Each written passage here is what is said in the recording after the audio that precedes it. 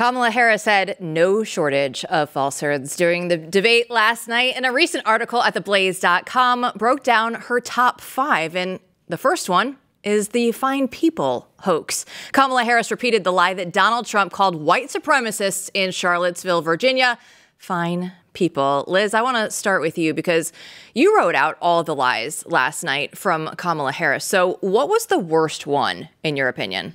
Well, I didn't write them all down because we only had an hour and a half to watch, but I did keep I did keep a list of some of the most egregious lies. I it all politicians lie, right? But the difference that I felt, and I think a lot of us watching felt last night, is she was so brazen about it. She looked us right in the eye without flinching, without blinking, without the usual guilty symptoms that, you know, if I tried to tell a lie to Steve, I'd probably be like nervous and twitching because my body's not used to telling lies. She looked at us, ice water in her veins. She lied about late term abortion. She lied about the very fine people, Charlottesville hoax. She lied about January 6th. She lied about the bloodbath comment. She lied about crime data in our cities across the country. She lied about her stance on border security. She lied, I believe, three times about Project 2025. And she lied about fracking. And yet, not one of those times did the ABC moderators correct her. And I'm not one to complain about a biased stage or moderators that are unfair. It's kind of par for the course. Like, if you're good enough at debating, whatever, biased moderators shouldn't bother you more than maybe like a little bit of an annoyance. But I don't like being a person that complains about that. But they really outdid themselves. I mean, that was propaganda to the level of Pravda, what they were engaging in. And it enabled, the reason I'm bringing it up is not even to complain about it per se, but to explain why Kamala Harris was so brazen. She knew that she could tell those lies without any fear of being not only caught, but even slightly challenged because they are 100,000% in her tank. Awful. Yeah. I mean, I, I'm curious uh, what we think about this because we know that they lie, and we know that they're willing to say anything, and we know that they won't be fact checking themselves. Um, so, eh, given that, we've seen now the facility. That's the new thing that we learned, I think. The facility with which Kamala Harris can do it and get away with it without looking like uh, the borderline uh, brain dead person that you know we've seen the clips of for the last few years. And, and by the way, that was my take on the debate. Was simply Trump had ridiculously high expectations in the sense the entire right thought he was going to go out again and have a historic knockdown. And all Kamala had to do, if you're on the right, is not seem retarded, which is what you think of her because you've just seen the clips of her over and over again and you love to hate her, right? So we know that they're going to do this. So my question to you guys is, okay, uh, we've seen the playbook, we know the playbook. So what happens next? I think we don't need to have moderators for debates. I don't know why the media has to be directly involved at all. Uh, we've already eliminated the Presidential Commission on Debates, which is uh, essentially a, a, who's who of, of, swamp creatures as it is. Mm-hmm. Um, I, I, think we ought to just do this as jury selections. Um, each campaign, uh, just have the people, just have Amer- Americans film videos on their phones. Everybody's got one of these. Okay. You have a question for a presidential candidate. It's got to be less than 90 seconds. All right. Uh, film it, send it, email it here.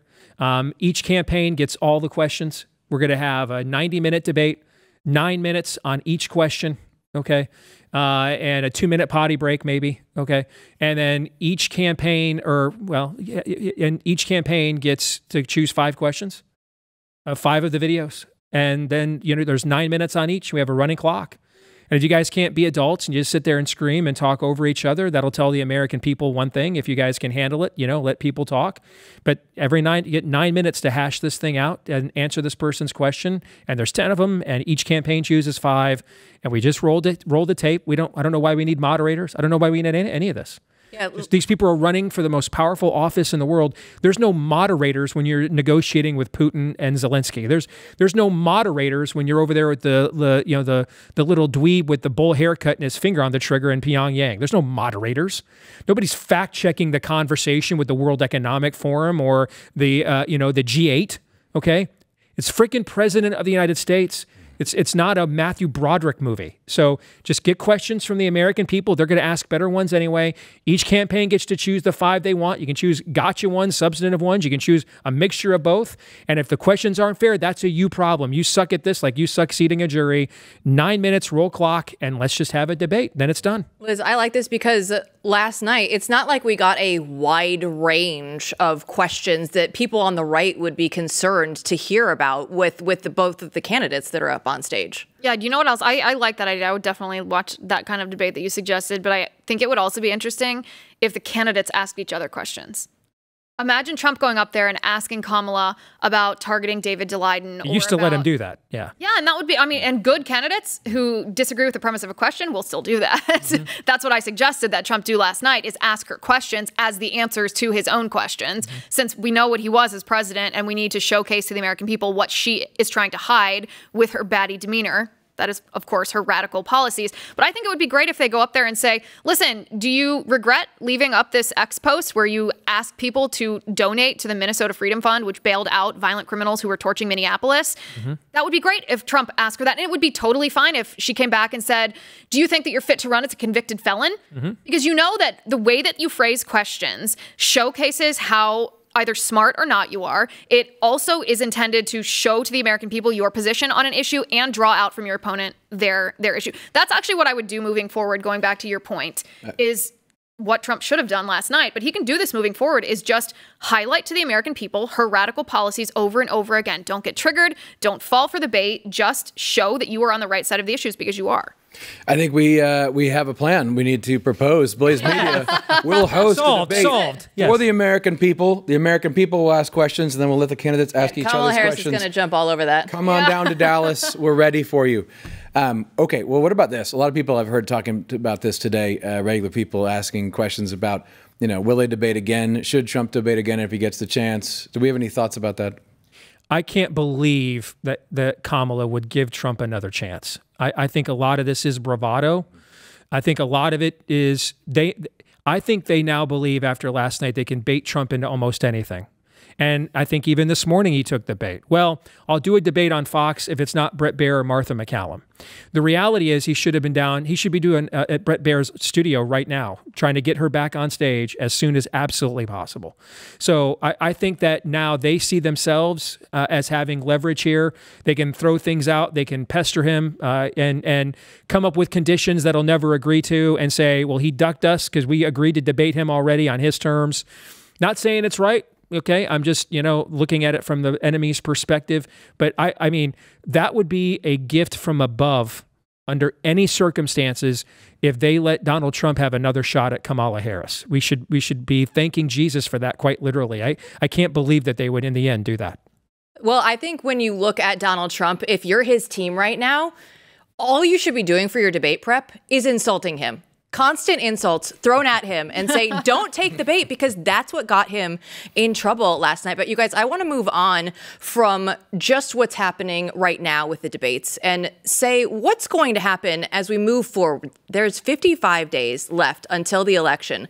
So, what can happen in that amount of time to push this narrative forward, to make red states redder, to try and figure out how to get Donald Trump in office once again?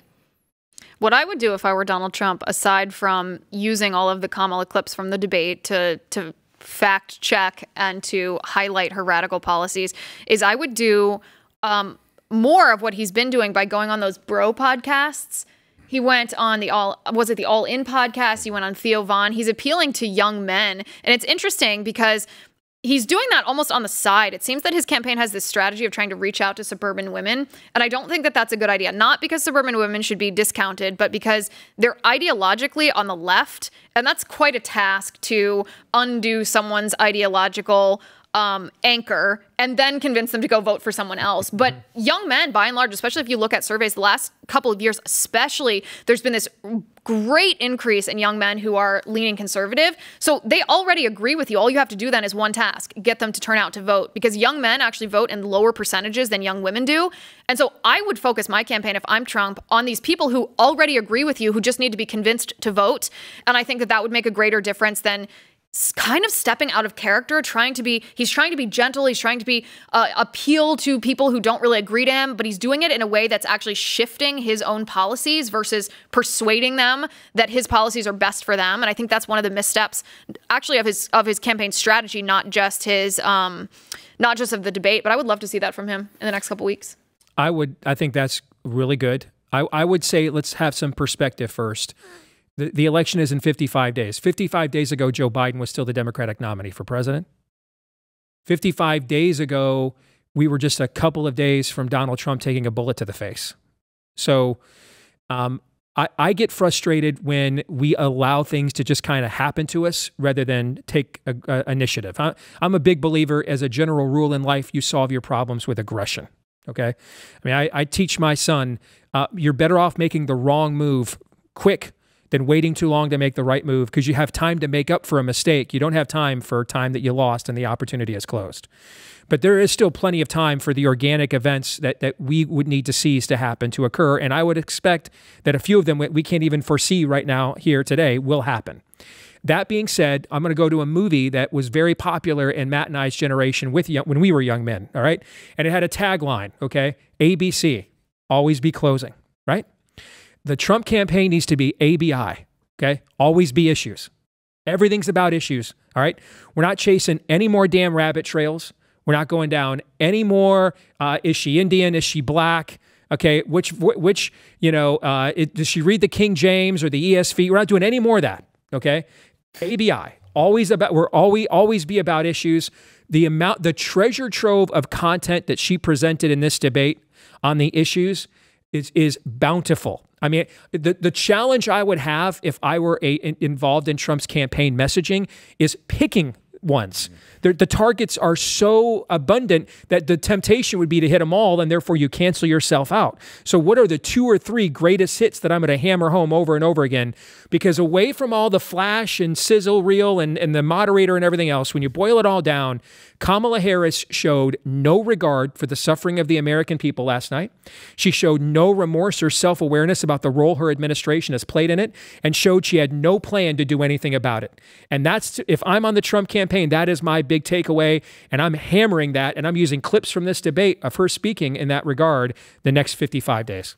Yeah, I couldn't agree more. I think I think the the aggressiveness has to be there, and they have to be facile and they have to move quick. So it's a very DC thing to look at numbers, and a bunch of political nerds sit there and like we will wave a little IVF flag, and then we'll get this demographic that now hates us mm-hmm. to move over. That's ridiculous thinking. Who is actually on your side? Take the wave of, of support on your side and direct that towards the rest of the American people and invite them in. So some examples of this would be and you're not going to get your own media. You have to make your own media. So some exa- make your own story. So examples of this would be Springfield.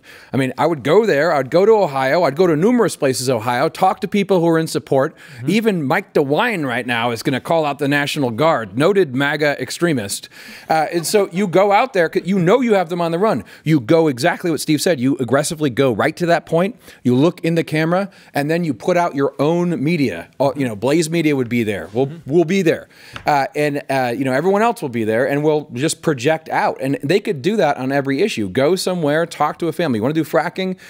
Go to a place that's been influenced negatively by fracking, let regular people talk about it, and then dare the rest of the conservative media to follow you and push the message out on some of these major issues. And what I what I hate about where we're at now is we don't have the time to play the DC games about, oh, if we just change this policy or we have Correct. this little doodad or this little this is go time. Everyone knows it's serious. Go to the serious issues and push them out. I look at it as a failure, though, because we're not sitting around here talking about how great Donald Trump was on immigration, on just the economy, the big issues that honestly, this should have been one of the easier debates with as bad as things are in the country right now, just pointing it out every single time that she would say something, just say, okay, you're the you're current vice president right now. How is this not the lasting message that we walked away from in that debate last night? Okay, but but I, I think I think that's right. In the debate though, I mean this is this is I think what we're saying is go outside the debate. I mean yeah. take the debate yeah. to so you want to talk about Kamala Harris or problems? Have a press conferences from California. Go to San Francisco with a backdrop behind you of people in the streets and say, This is what she did. This is this is the result of her policy, right? And get outside of the fact checkers that way. But you've got to be you're going to have to be very detailed. So for example, the moment last night when Springfield came up, okay?